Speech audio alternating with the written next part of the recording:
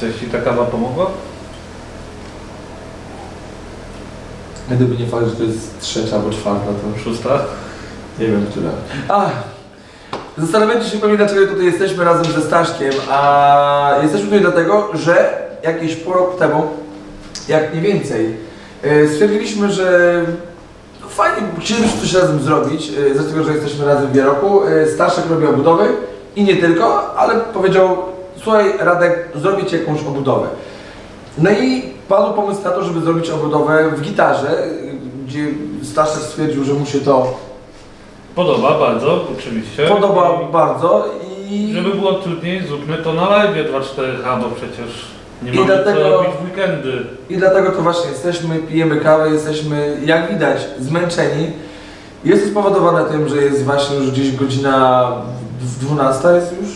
Jest już 12? Ja nie wiem, Przed nie, 12. nie umiem czytać już zegarka. Jest przed godziną 12, zaczęliśmy o godzinie 11 rano, a jest już przed północą, więc trochę jesteśmy zmęczeni. To może Staszku, jako, jako że jesteś specjalistą, to opowiedz, y, co zrobiliśmy u Ciebie, bo pierwsza część filmu jest do obejrzenia pustaszka, a u nas jest kontynuacja. No właśnie, dotychczas mamy już przygotowane elementy metalowe. Głównym założeniem, znaczy nie mieliśmy założenia, tak naprawdę stwierdziliśmy, że pojedziemy na spontanie, Radek przyjedzie z gitarą i zdecydujemy. Ja na początku sobie myślałem, że po prostu poharatamy tą gitarę, wsadzimy komputer do środka i tyle. I będzie to komputer w kształcie gitary. Ale po tym jak zobaczyłem jaka to jest gitara i wiedząc, Jak brzmi. że jak brzmi i wiedząc, że jest to istotna gitara, stwierdziliśmy, że zrobimy tak, by ta gitara zachowała pełną funkcjonalność. Dlatego zrezygnowaliśmy z karty graficznej, no bo nie każdy komputer musi mieć kartę graficzną, zintegrowana w zupełności wystarczy. No i pomysł był taki, żeby zrobić taką szufladkę, gdzie będzie płyta główna w formacie mini TX z jakimś solidnym procesorem, w tym przypadku 6700K e, i mały zasilacz, żeby to wsadzić w gitarę tak, by na pierwszy rzut oka była to zwykła gitara, ale możemy ją sobie postawić w domu, przy komputerze, zrobić z tego domowe centrum rozrywki multimedialnej, nie ma z tym żadnego problemu, jest to w pełni prawny działający komputer. E, No ale plan jest taki, żeby ta gitara działała. No i jak na razie mamy przygotowane wszystkie te elementy metalowe. E, Potem malowanie, trzeba będzie to wszystko dopasować. No i potem zakładanie strun i to jest chyba ten moment, którego się, ja się go najbardziej boję, szczerze mówiąc. Znaczy zakładanie strun to też od razu mówię, że będziemy zakładali strun nie nowe, tylko te, które mamy, ponieważ potem ta gitara jeszcze będzie pozbawiana tych strun i będzie ona czyszczona i w ogóle wszystko.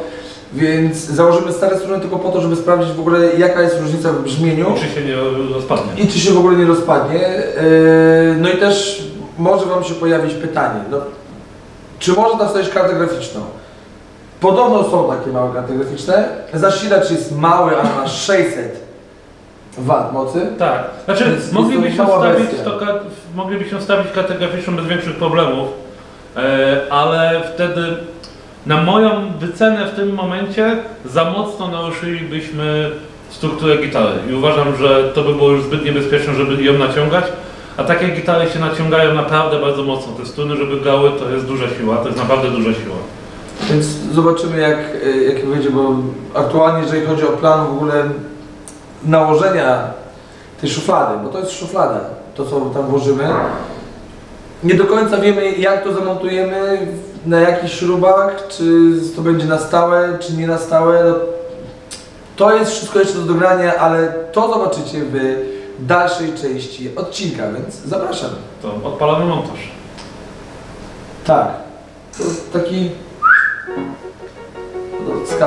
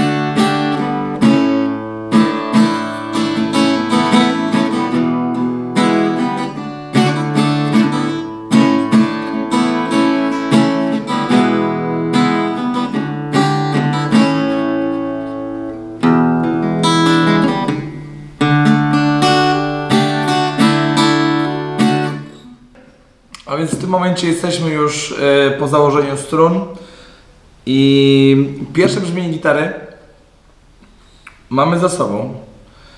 I to co muszę stwierdzić, e, że po wycięciu dziury i zamontowaniu tutaj e, płytki z całym osprzętem, gitara straciła sporo dołu.